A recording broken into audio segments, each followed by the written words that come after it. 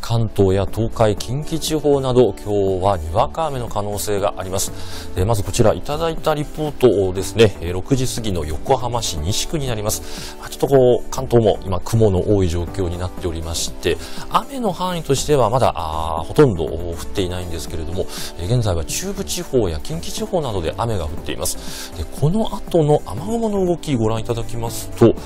このライン状の雲ですね、これが前線に相当しています。ます。でこの後日中帯このように東西に伸びる雲がまだかかりそうでして、まあ、関東、東海、近畿、そして中国地方、主に山陰側ですね、えー、こういったところで日中帯あちらこちら雨が降るというふうに見られます。まあ、午後にかけては東海以西で晴れてくるところもあるんですけれども、えー、天気の変化は要注意ですね、えー、今日は折りたたみの傘ご用意いただきたいと思います。